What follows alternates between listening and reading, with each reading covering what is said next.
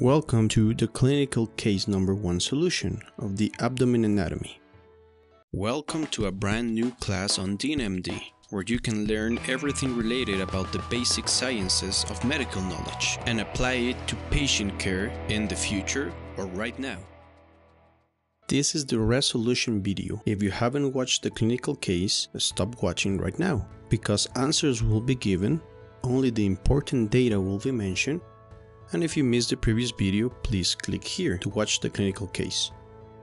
I would like to make some special shoutouts to Catalina Duque and Andrew Salazar for their participation in the clinical case. So what data is important in this case? It's a male 80 years old patient in hospice care with high blood pressure and chronic constipation. He takes enalapril, which is a ACE inhibitor hydrochlorothiazide, a diuretic, and methyl cellulose, that is a bulk forming laxative. He had an open appendectomy due to grade 2 appendicitis, and his brother is diagnosed with Crohn's disease. He presents with intense abdominal pain 9 over 10, abdominal distension, vomiting, and constipation. His BP is 90 over 60, heart rate 110, respiratory rate 22, and temperature 38. This is translated as hypotension, tachycardia, tachypnea, and fever. All of these are signs of shock. Also, in the physical examination, he has abdominal pain, distension, tympanism in the percussion, rigidity, and a positive Blumberg sign. Blumberg sign is made by pressing on the abdomen of the patient and quickly releasing. This causes intense pain. With rigidity, these are known as signs of peritoneal irritation, known as peritonitis. When something is inside this cavity, which causes irritation to the parietal peritoneum, it causes peritonitis. To see a video of the peritoneal cavity and learn more, please click here. A study made by Henry Rice MD and collaborators in 2007 on pediatric patients established that the presence of Blumberg sign increased three times the likelihood of appendicitis. The percussion in this patient that was tympanic indicates that there's something empty or filled with air inside the abdominal cavity, most likely gas. In the test results, we have a normal complete blood count. These patients can sometimes present with leukocytosis, which is an increase in white blood cells. A systematic review in 2012 established that a temperature of 38 degrees Celsius or an isolated leukocytosis are not enough to determine bacteremia, which is bacteria in the bloodstream. Therefore, an isolated leukocytosis is not enough to determine infection, so leukocytosis can be also caused by non-infectious diseases, even by important emotional or physical stress. The remaining laboratory tests of this patient are also normal. The chest x-ray of the patient shows this black area. If we zoom in, we can see this white area here in pink and below the black area in green. This white area here is the diaphragm. If we compare this with a normal x-ray, we can see that below the diaphragm there is usually white. Therefore, the presence of the black area is not normal. If we see the lung here, it's also black. This is the air density of an x-ray. And by looking at the heart that is white, this is the tissue density of the x-ray. Therefore, this black image is of air density, but where is this air located? It's right here, between the liver and the diaphragm, in a space known as the peritoneal cavity. To see a video of the peritoneal cavity, please click here. Now let's take a look at the abdominal x-ray. We can see here an strange shape like an inverted U shape that is black, which means that has air, and this may explain the tympanic percussion on the physical examination. We can also see these white structures that are located in different parts of this inverted U. This white density is known as tissue density and they look like folds, but as you can see they don't cross to the other side of the image. So if we take together the tissue densities and the air densities, we get a form like a coffee, the coffee bean sign. And you can compare it here with the x-ray of our patient. The shape is identical, so remember the coffee bean sign. Now let's do a quick analysis of the case. Patient has intense abdominal pain, constipation and vomiting, peritonitis, a possible shock, abdominal distension and a tympanic percussion. also air in the peritoneal cavity known as pneumoperitoneum, and a coffee bean sign. Now that we have all the pieces of the puzzle, we can, like a detective, figure out what's wrong with our patient. So the first question will be which bodily system is affected in this patient? With vomiting, abdominal pain, distension, constipation, we can easily say that the affected system is the gastrointestinal system. So the gastrointestinal system it's like a continuous tube. It has an input and an output and either one can be blocked.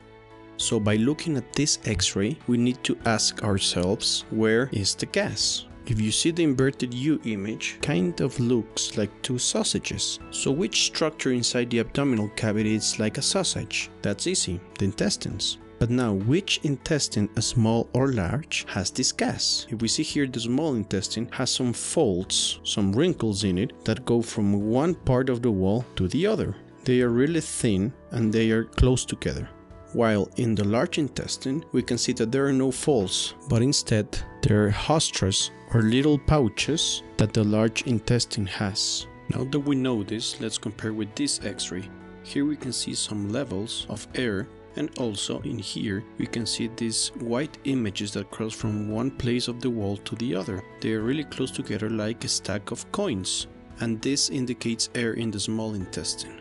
While if we see this x-ray we can see that these white images don't cross to the other side are more spread which means that there is air in the colon if we compare this to the image of our patient, we can see that these white images don't go to the other side, so these images show that there is gas in the colon. But the next question that we need to ask ourselves will be why is it filled with gas? The gastrointestinal system is filled with bacteria, and these bacteria produce gas in the form of CO2 or methane. But if the patient's intestine is filled with gas, it can easily come out, like flatulence. So, what is preventing the gas from this patient to come out? Well, it can be an obstruction, an obstruction that can be located anywhere along the gastrointestinal tract. But because we know, thanks to the image analysis, that the affected intestine is the large bowel, we can safely assure that there's an obstruction preventing gas from leaving the large bowel. The bacteria that are still inside keep producing the gas, which causes the intestine to expand with gas. A blockage will also explain the patient's vomiting. When the intestine is blocked, it paralyzes. The movement of the intestine known as peristalsis stops now, by comparing our patient image with this image that has a distended colon, we can see that they are not equal. In our image, if we compare it to the normal anatomy of the colon, we see that there are epiploic appendages that are made up of fat, the haustra that are sacculations or pouch-like structures, and finally we have taenia that is a flat ribbon-like structure located in all the length of the colon. If we compare these white images in our patient's x-ray with the haustras in a large intestine, we can see that they are really similar. And we can also see here that in the base of the inverted U, the gas ends in this part. This reminds me of the balloon animals that clowns used to make. To do them, the clowns twist and turn the balloon upon itself in order to make the shapes they want. For this to happen, the affected segment of the colon must be mobile. So the next question will be which parts of the colon are mobile? If you remember the mnemonic Said-Poker, the C was for colon both ascending and descending, meaning that they are retroperitoneal structures. They are covered by parietal peritoneum and therefore they are not mobile, which means that the rest of the colon segments are mobile. To remember this mnemonic, please click here to watch the video. So which segments does the colon have? Well, we have the cecum, the ascending colon, transverse colon, descending colon, the sigmoid colon, the rectum and the anus. The cecum, the transverse colon, and finally the sigmoid colon are the ones that are mobile. In this sagittal drawing of the abdomen, we can see that the blue cavity is the peritoneal cavity, and every organ that is inside it is known as intraperitoneal and they are suspended by this green membrane known as the mesentery. And if you remember, the mesentery is the one that contains the blood vessels within itself. So if the colon twists like a balloon, the blood vessels would twist as well, causing ischemia, which will cause the death of the intestine known as necrosis. The death of the intestine will lead to a perforation in its wall, liberating its liquid and gas contents, and this can act as a corrosive over this green membrane that is the parietal peritoneum causing its irritation and inflammation that is known as peritonitis. Also, the gas leaked from the perforation will lead to the pneumoperitoneum found in our patient, causing the peritoneal signs of rigidity and Blumberg. So what is the diagnosis? It's sigmoid volvulus with intestinal perforation and peritonitis. How do I know that the affected segment is the sigmoid?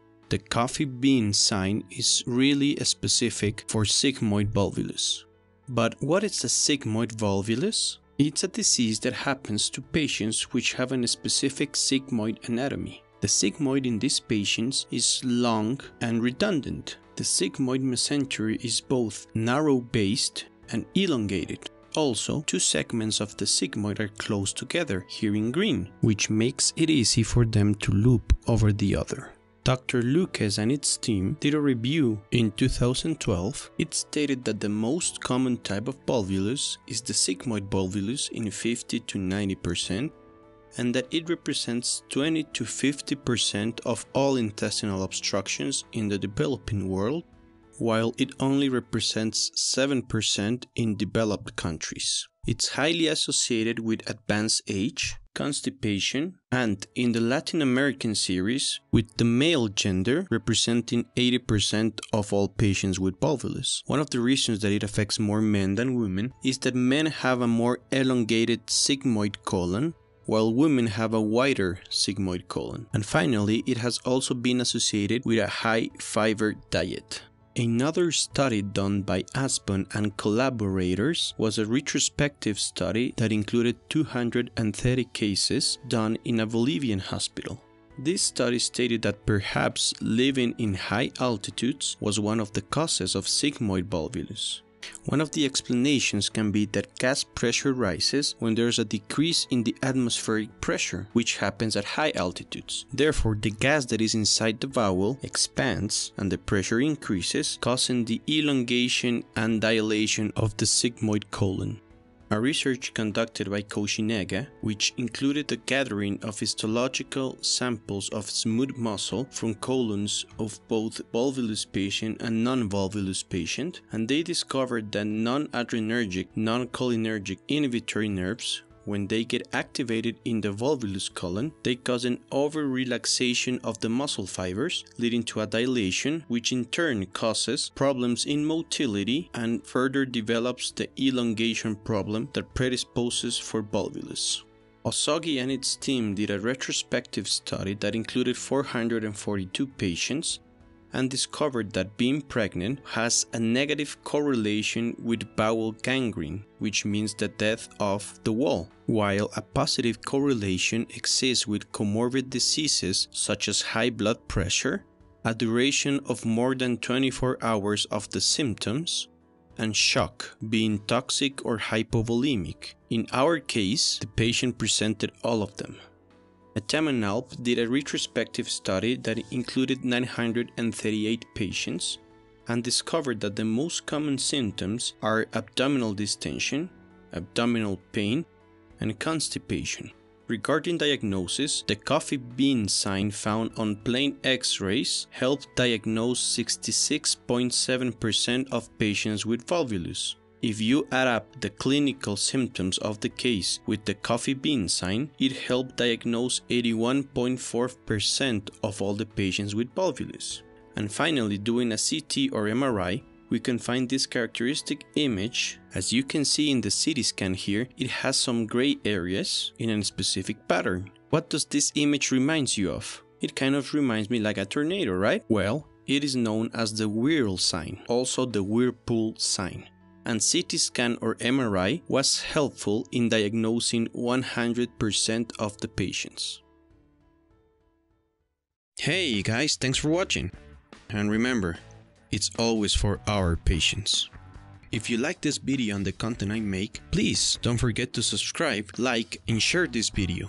With your help, I'm sure we can get free medical content to every corner of this world.